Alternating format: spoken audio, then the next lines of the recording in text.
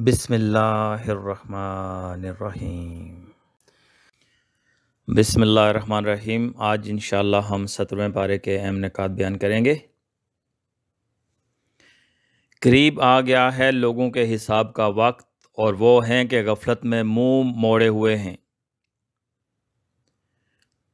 लोगों, हमने तुम्हारी तरफ़ एक ऐसी किताब भेजी है जिसमें तुम्हारा ही ज़िक्र है। क्या तुम समझते नहीं हो? हमने इस आसमान और ज़मीन को और जो कुछ भी इनमें है, कुछ खेल के तौर पर नहीं बनाया है।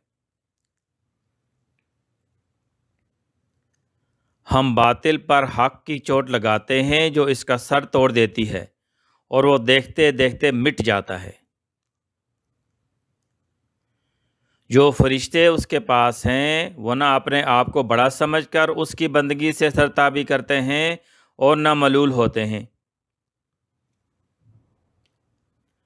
अगर आसमान व ज़मीन में एक अल्लाह के सिवा दूसरे खुदा भी होते तो ज़मीन और आसमान दोनों का निज़ाम बिगड़ जाता। हमने पानी से हर ज़िंदा चीज़ पैदा की। हम अच्छे और बुरे हालात में डालकर तुम सब की आजमाइश कर रहे हैं। सब एक एक फलक में तैर रहे हैं।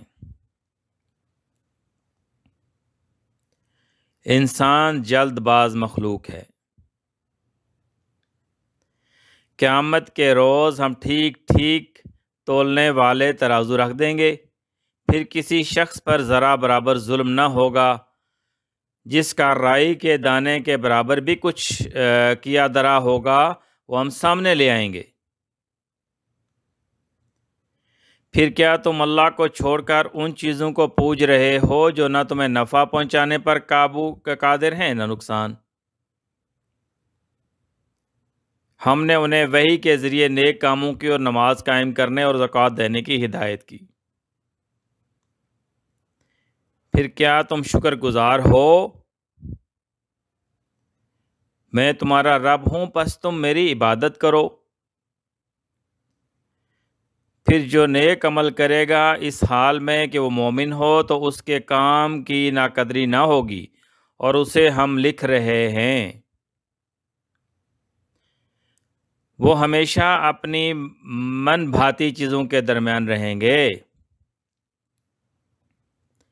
क्या तुमने नहीं देखा कि अल्लाह के लिए सजदा करते हैं? वो जो आसमानों और ज़मीन में हैं और सूरज और चाँद और तारे के पहाड़ और दरख्त और चौपाए और बहुत आदमी और बहुत वो हैं जिन पर अजाब मुकर हो चुका है और जिसे अल्लाह जलील करे, उसे कोई इज़्ज़त देने वाला नहीं, बेशक अल्लाह जो चाहे करे। चूँकि आयत सजदा क्या तर्जमा पे, पेश किया गया, इसलिए जो सुनने वाले साहबान में उन पर सजदा तलावत वाजिब है। वह इंतहाई घबराहट का वक्त उनको ज़रा परेशान ना करेगा और मलाइका बढ़कर उनको हाथों, हाथ लेंगे कि ये तुम्हारा वही दिन है जिसका तुमसे वादा किया जाता था। ज़मीन के वारिस हमारे नेक बंदे होंगे। ए मोहम्मद सल्लल्लाहु अलैहि वसल्लम, हमने जो तुमको भेजा है तो ये दरअसल दुनिया वालों के हक़ में हमारी रहमत है। तुम जो बातें बनाते हो, उनके मुकाबले में हमारा रब रहमान ही हमारे लिए मदद का सहारा है। लोगों, अपने रब के गज़ब से बचो। हकीकत यह है कि क़्यामत कल जला जला बड़ी हौलाक चीज़ है। बाज़ लोग ऐसे हैं जो इल्म के बग़ैर अल्लाह के बारे में बहसें करते हैं और हर शैतान सरकश की पैरवी करने लगते हैं। क़यामत की घड़ी आकर रहेगी, इसमें किसी शक की गुंजाइश नहीं। और अल्लाह ज़रूर उन लोगों को उठाएगा जो कब्रों में जा चुके हैं। और लोगों में कोई ऐसा है जो किनारे पर रहकर अल्लाह की बंदगी करता है? अगर फ़ायदा हुआ तो मुतमिन हो गया, और जो कोई मुसीबत आ गई तो उल्टा फिर गया। उसकी दुनिया भी गई और आखिरत भी। जिसे अल्लाह ज़िल ख्वार कर दे, उसे फिर कोई इज़्ज़त देने वाला नहीं है। इनमें से वो लोग जिन्होंने कुफ्र किया है, उनके लिए आग के लब्बास काटे जा चुके हैं। उनके सरों पर खोलता हुआ पानी डाला जाएगा। वहाँ वो सोने के कंगनों और मोतियों से आरास्ता किए जाएँगे। बस बुतों की गंदगी से बचो, झूठी बातों से परहेज करो। जो कोई अल्लाह की कायम करदा हरमतों का एहतराम करे तो ये उसके रब के नज़दीक खुद उसी के लिए बेहतर है।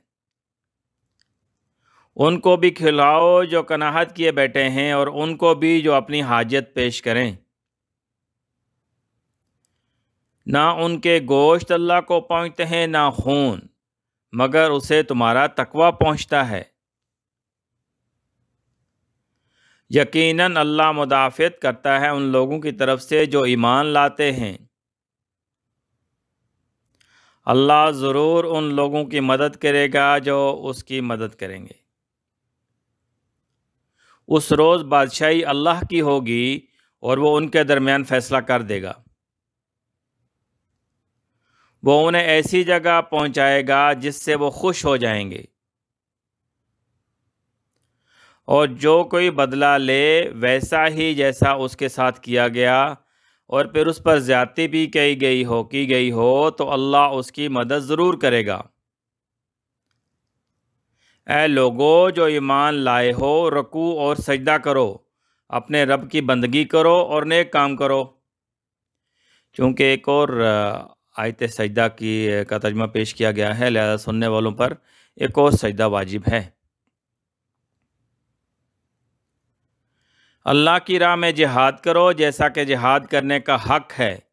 उसने तुम्हें अपने परवरदिगार के लिए चुन लिया है और दीन में तुम पर कोई तंगी नहीं रखी। अल्लाह से वाबस्ता हो जाओ, वो है तुम्हारा मौला। बहुत ही अच्छा है वो मौला और बहुत ही अच्छा है वो मददगार। सदक अल्लाह अज़ीम।